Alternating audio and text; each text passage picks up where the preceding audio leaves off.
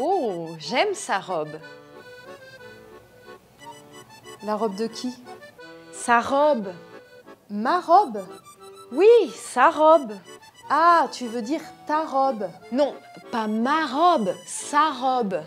Oui, ma robe, j'ai compris. Acha os adjetivos possessivos confusos? Assista esse vídeo.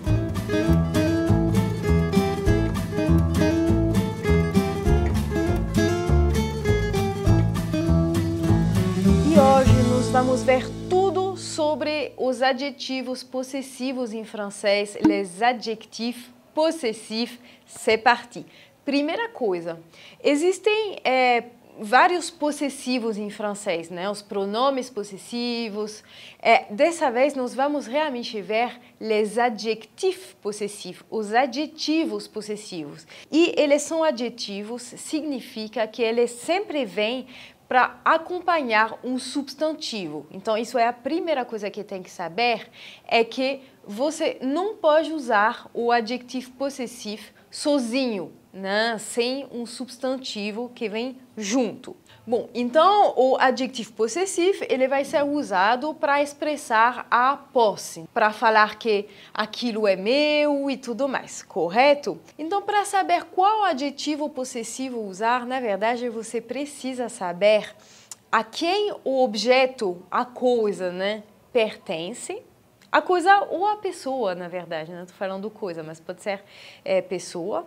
E também o gênero e o número dessa coisa ou pessoa. Então precisa saber se é um substantivo é, masculino, feminino, singular ou plural.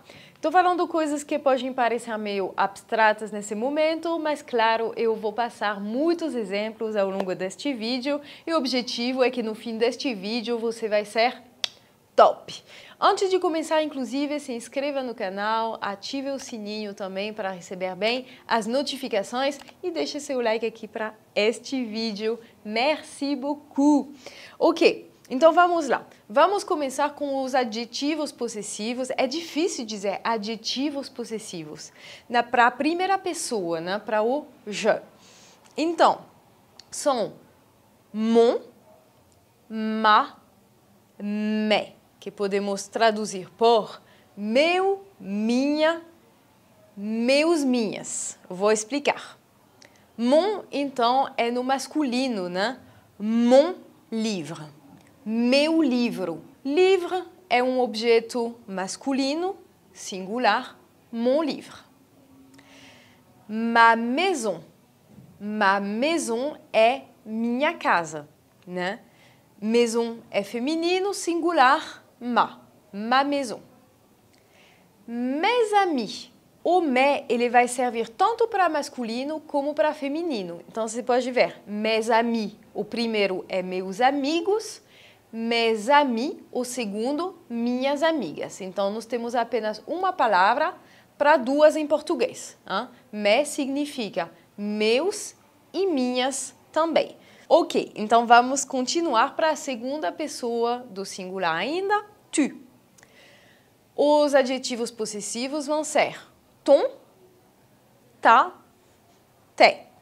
Então, mesma coisa, ton livre ou teu livro, né? Vou falar teu livro porque justamente tem muita confusão. Aqui no Brasil, a gente vai falar seu livro muito mais facilmente, né? Para a pessoa com quem a gente está falando. Isso gera muita confusão porque muitos brasileiros falam para mim som, né? Sendo que querem falar tom. Sa robe.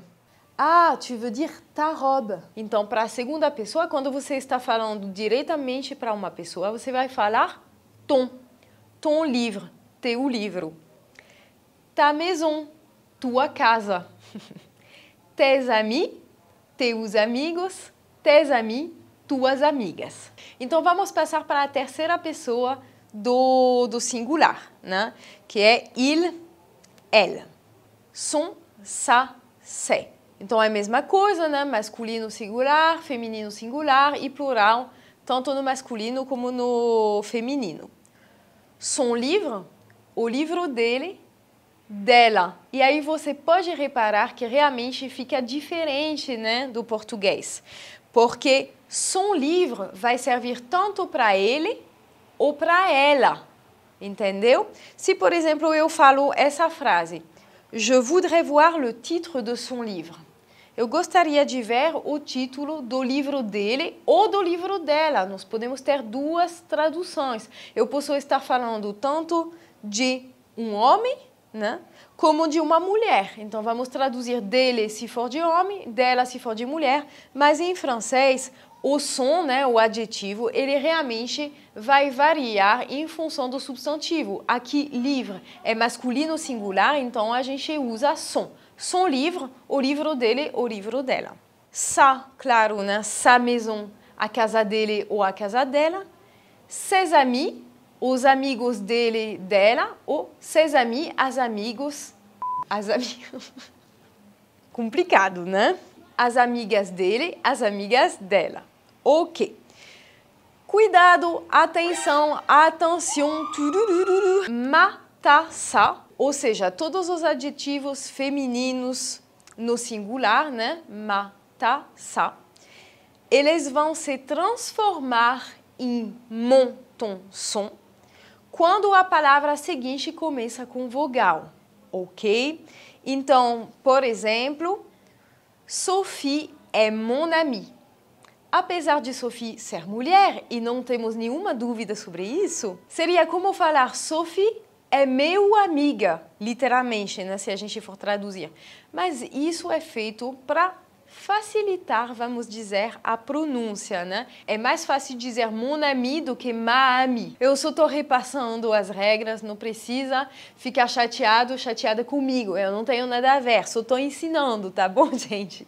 Então, Sophie é mon ami. Você não pode falar Sophie é ma ami.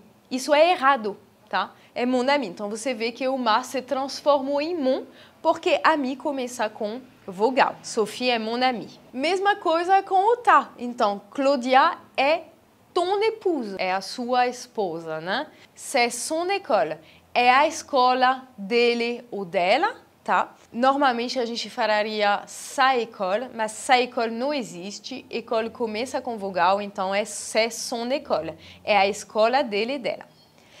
Ok, vamos então agora para os adjetivos possessivos dos pronomes plurais, ok? Aqui a gente muda um pouquinho a lógica, porque já não tem mais diferença se o substantivo é masculino ou feminino, tá? Teremos um possessivo para o singular e um outro possessivo para o plural e pronto. Então, primeira pessoa do plural são notre, no, tem só dois.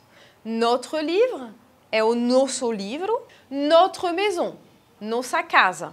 Agora, se o substantivo estiver no plural, aí se muda para o no.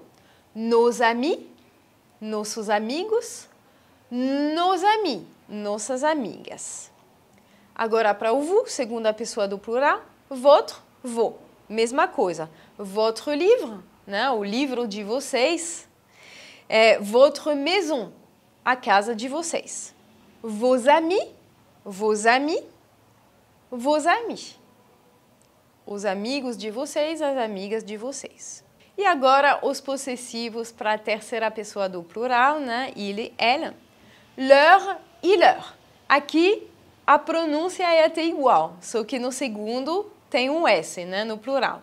Então, leur livre é o livro deles ou delas. Leur maison é a casa deles ou delas tá bom? Então, leur funciona com masculino, funciona com feminino, não tem problema. Agora, no plural, leur, mesma pronúncia, só que se a palavra seguinte começar com vogal, aí tem que fazer a liaison, a ligação entre o S e a vogal. Então, realmente vai ficar leurs amis, os amigos deles, nós temos vários amigos para várias pessoas, leurs amis leurs amis, as amigas deles, delas. Tá bom? Eu acho que o que torna um pouco confuso é porque tem diferenças com o português. Então, precisa de um certo tempo, de uma certa prática para se tornar mais natural. Mas é isso, basicamente. Né? Sempre eu falo que estudar é bom, mas praticar é fundamental. Então é isso para esse vídeo. Muito obrigada por ter passado esse momento comigo. Eu fico por aqui e a gente se vê na próxima. Tchau!